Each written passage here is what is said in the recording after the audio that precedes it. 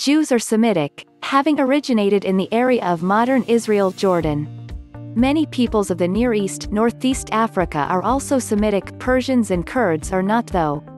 Some Jews that migrated to Europe over time intermarried with European populations and look more European, but many Jews stayed in the Middle East and many Jews, if not most in Europe until modern times also married only or mostly Jews. Conversion from Christianity to Judaism until modern times was rare. Saudi Arabians the original Arabs are also Semitic. So it's natural that Jews and Arabs will look similar.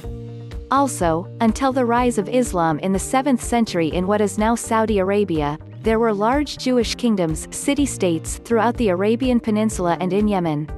Many of these were forcefully converted to Islam around that time period. So it's not crazy to think that many people in Saudi Arabia today have Jewish genealogy. Jews are Semitic, having originated in the area of modern Israel Jordan. Many peoples of the Near East Northeast Africa are also Semitic Persians and Kurds are not though.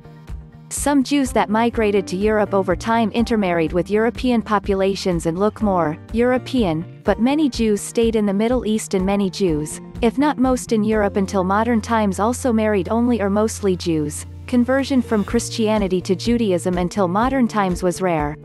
Saudi Arabians the original Arabs are also Semitic. So it's natural that Jews and Arabs will look similar.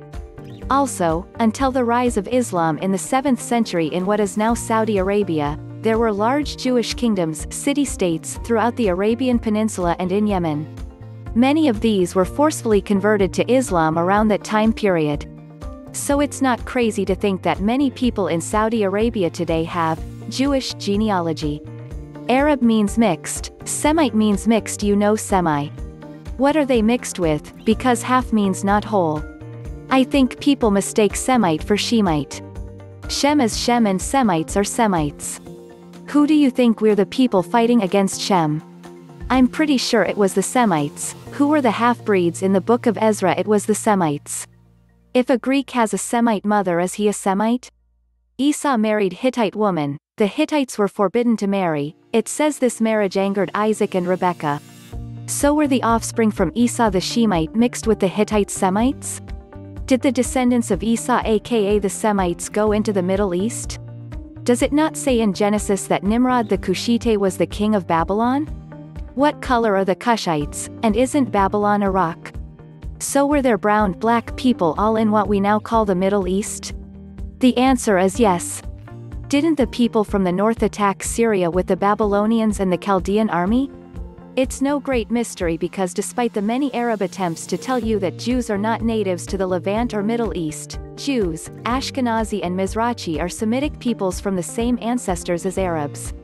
Any Ashkenazi Jews who grew up in Jewish neighborhoods and Jewish summer camps can see the faces of people that they grew up with in Saudis, Syrians, Lebanese, etc.